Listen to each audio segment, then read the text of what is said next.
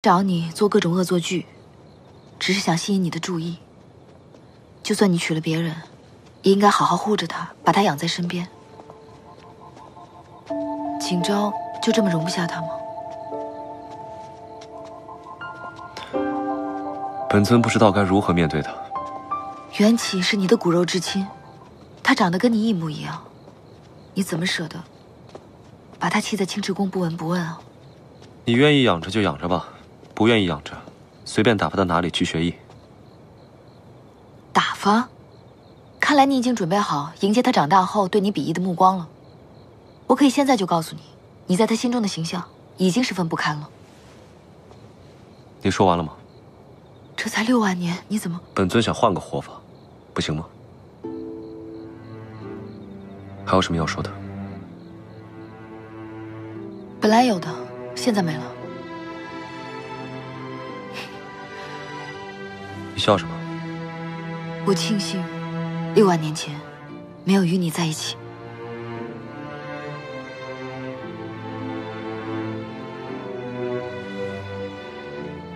以后没事，不要再来苍穹之境。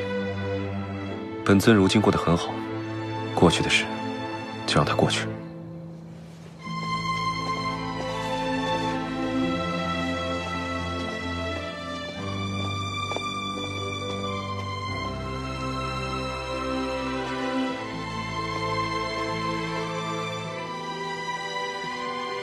这么快就聊完了？刚刚跑去哪儿了？第一次来，随便逛逛。这白冰块怎么变了这么多？我就说吧，这种人没什么可聊的。我后悔了。后悔什么？后悔没把这一把火烧了。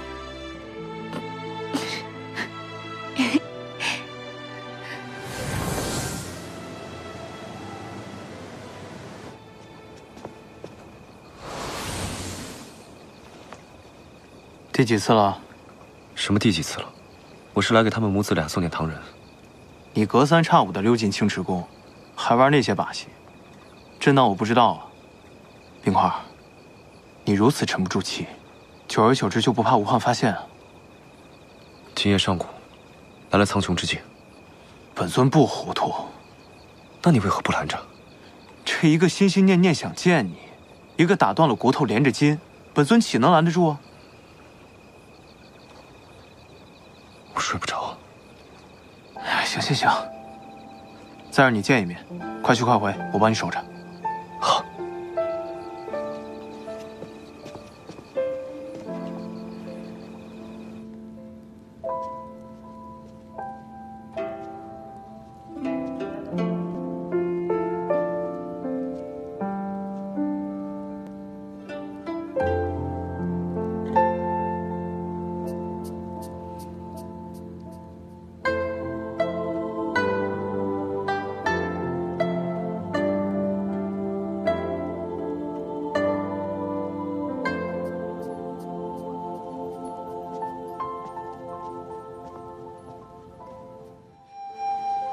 神尊，今日就是东华的寿宴了，他们给我们发了请帖，邀请我们去瞭望山。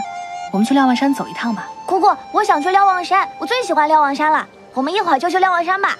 回东华，我们不去。是。为什么不去？凭什么不去？不去就是不去。哼！凤然姐姐，三伯他独断专行。他是神尊，我打不过他。姑姑，人家说了，我是没爹没娘的孩子，以后连媳妇都娶不到。我看说的对，连凤然姐姐都不向着我。姑姑，你必须带我去瞭望山。嗯嗯，你这套是我当年玩剩下的。那你教教我你的本事。逆父神当年对我孜孜教诲，助我练成了混沌之力。往后我也会悉心教导你，算是还了他当年的师恩吧。如此，我与白绝就两清了。就白绝那样的人，还教别人？当年你父神玉树临风，知书达理，神界他的爱慕者是数不胜数。本主神当年也是其中的一位，可是他却毫不在意。鬼都不信。你三伯没同你说过？我才不想听白绝的事。只只是现在这白绝黑心又冷漠，言行举止令人作呕。那他为什么会变成那样？我也想知道。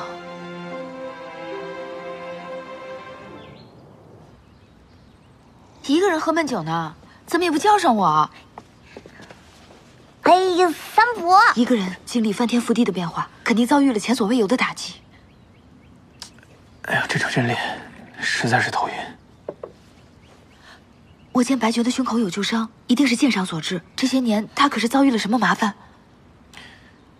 我真不知道。这些年我与白绝甚少见面，生分的很。三伯，你为何从不告诉我这些？你不是不爱听这些吗？你捣什么乱呢？那为什么你每次提起白绝，你比我还不耐烦呀？白绝，是不是有什么不可告人的秘密？三伯，你有事瞒着我们？你是不是经常偷偷见白绝啊？三伯，你心虚了。天启，三伯，天启，三伯，天启，三伯，天启，够了！白雪的事，本尊一概不知，都别烦我，我要闭关。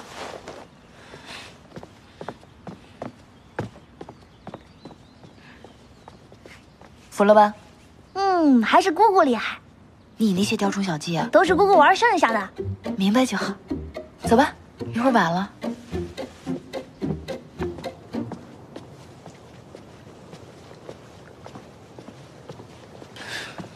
你怎会如此被他们母子轻易诓骗？你怎么又来了？我给元气带了些宝贝。